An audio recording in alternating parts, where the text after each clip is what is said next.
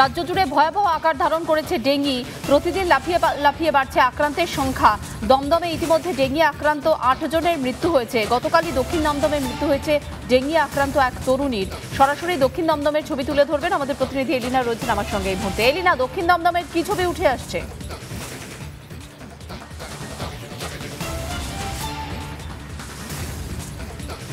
একেবারে মীনাক্ষী, দেখো ভয়াবহ ছবি তোমার সামনে, আমি এই মুহূর্তে তুলে ধরবো। কার্যত রিপাবলিক বাংলার সমস্ত দর্শকদের জন্যই তুলে ধরবো যে দক্ষিণ দমদমে কার্যত ভয়ঙ্কর পরিস্থিতি তৈরি হয়েছে এই ছবি দেখলে কোথাও গিয়ে ভয় ধরবে যে সত্যিই তো মশার আতুর ঘরে দিন দিন পরিণত হচ্ছে এই দক্ষিণ দমদম। গতকাল আমরা দেখেছি দক্ষিণ দমদমের এক তরুণীর মৃত্যু হয়েছে, ডেঙ্গুতে আক্রান্ত হয়ে। কিন্তু এখনও প্রশাসন তৎপর নয়। কলকাতা পুরসভাটি কি করছে?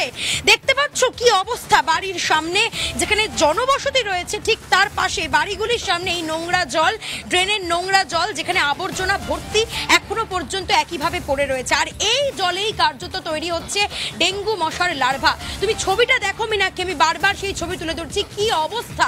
চারিদিকের বাড়ি থেকে শুরু করে আগাছা জন্মে গিয়েছে, জংলা, জমি, জল, সাংঘাতিক অবস্থা এবং এরই মধ্যে অস্বাস্থ্যকর পরিবেশে বসবাস করতে হচ্ছে এখানকার এলাকাবাসীদের। এই ড্রেন এবং এই ড্রেনের পাশে রয়েছে জনবসতি, তারা বসবাস করছেন। কি অবস্থায় তারা দিন কাটাচ্ছেন আমি তাদের থেকে একটু শুনব।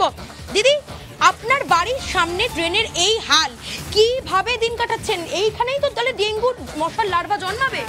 সমস্ত মশা, পোকা, মাকড় সাপ ঘরে পর্যন্ত ঢুকে যায় বিছে আমি টিকতে পারছি না। অনেক বলে বলে আমার মুখ ব্যথা হয়ে গেছে। প্রতিদিন আমি ফিলাইন দিই বিচিলিং দিই কেরোসিন তেল দিই যাতে ওগুলো না আসে। কাউন্সিলার দেখা করেছেন এই বিষয়ে? দেখেছে ওনাকে আমি বলেছি। বলার পর কোনো ব্যবস্থা নেই উনি বলছে দেখছি বলেছে।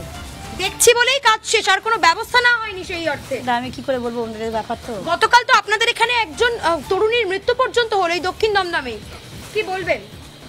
কোথাও গিয়ে ডেঙ্গু তো ভয় ধরাচ্ছে? হ্যাঁ ছাদেও আছে উপরে ওদের জল বসে- বসে থাকে সেখান থেকে ওরা মানে সব মশাগুলো জন্মাচ্ছে। হ্যাঁ। ও সব বাড়ি বাড়ি যাচ্ছে। একেবারে। মানে আমি আরও আমি আরও যারা এখানে রয়েছেন কথা বলব। দাদা দাদা কি অবস্থা কি অবস্থা? ছাদে আমরা দেখলাম সেই ছাদে দেখেছেন এই সাপ খুব ছাদে তো মাছি পুরো জলে ভর্তি। নিচে একদম অবস্থা খুবই খারাপ। আজকে প্রায় অনেক বছর ধরে এই জিনিসটা চলছে। আপনারা বসবাস করেন যে কোনো মুহূর্তে তো ডেঙ্গু হয়ে যাবে। হয়ে যাচ্ছে আমারও হয়েছিল আগে অনেক দু হাজার আঠেরো সালে হয়েছিল। হ্যাঁ তার মাঝখানে আবার এরকম হয়ে যাচ্ছে আর কি করা যাবে? সাফাই কর্মীরা পরিষ্কার করে করছে- করছে ওরা ওরা সেরমই করে কিন্তু পরিষ্কার ভালো হয় না। পরিষ্কার হয় না। না। এই একইভাবে জমে রয়েছে মীনাক্ষী নোংরা থেকে শুরু করে ড্রেনের পচা জল। আমি এখানে দেখতে পাচ্ছি আরও একজন দাঁড়িয়ে রয়েছেন একেবারে পথচারী তিনি যাচ্ছিলেন। যে ছবি যে ছবি উঠে আসছে এবং বক্তব্য উঠে আসছে স্থানীয়দের যে প্রতি বছরই হয় উনি বললেন যে এর দু বছর, তিন বছর আগেও তার ডেঙ্গু হয়েছিল। এমনই ছবি দক্ষিণ দমদম পুরসভার এলাকার। এই ছবি পরিবর্তনের নাম নেই। প্রতি বছরে এরকম অবস্থা হয়, অস্বাস্থ্যকর পরিবেশ থাকে। এভাবেই ডেঙ্গি হচ্ছে এলাকার বাসিন্দাদের। আমি সরাসরি চলে যাব এলিনার সঙ্গে থাকা হাওড়াতে, যেখানে ডেঙ্গি মোকাবেলায় ক্লাবকে টাকা দেওয়ার সিদ্ধান্ত হাওড়া পুর নিগমের। হাওড়া পুর এলাকায় ডেঙ্গি মোকাবিলার জন্য চারশো ক্লাবকে সাড়ে তিন হাজার টাকা করে দেওয়ার সিদ্ধান্ত নেওয়া হয়েছে। এদিকে প্রতি ক্লাব তিনটে করে ফ্লেক্স ছাপিয়ে আট অক্টোবর মিছিল করবে। সামগ্রিকভাবে কি ছবি উঠে আসছে আমাদের প্রতিনিধি রয়েছেন এই মুহূর্তে বিশ্বনাথ আমার সঙ্গে তুলে ধরবেন। বিশ্বনাথ, সামগ্রিকভাবে কি ছবি উঠে আসছে হাওড়া পুরসভা এলাকা পুর নিগম এলাকায়? ইতিমধ্যেই হাওড়া শহরেও কিন্তু ডেঙ্গুর যে ফিগার তা কিন্তু কমেই প্রতিদিনই বাড়তে চলছে। ইতিমধ্যেই সংখ্যাটা পুরো এলাকা দাঁড়িয়েছে। সাতশো নব্বইয়ের ওপরে, প্রায় আটশো। এবং একই সঙ্গে কিন্তু ম্যালোরিয়াও প্রকোপ রয়েছে।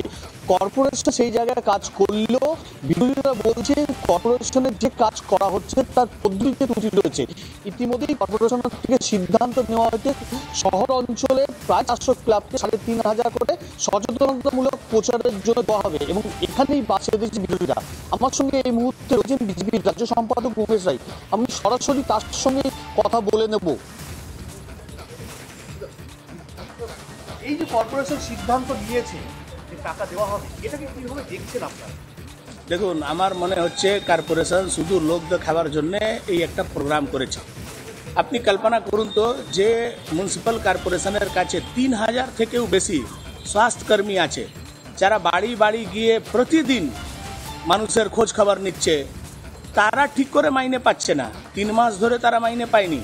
সেই জায়গাতে হাওড়া মিউনিসিপ্যাল কর্পোরেশন ক্লাবগুলোকে সাড়ে তিন হাজার টাকা দিচ্ছে। তারপরেও নাকি একটা বড় ফর্ম দিয়ে দিয়েছে। আপনি আমাকে বলুন তো এই ক্লাবে সাড়ে তিন হাজার টাকা দিয়ে সাড়ে তিন হাজার টাকায় কি হয়?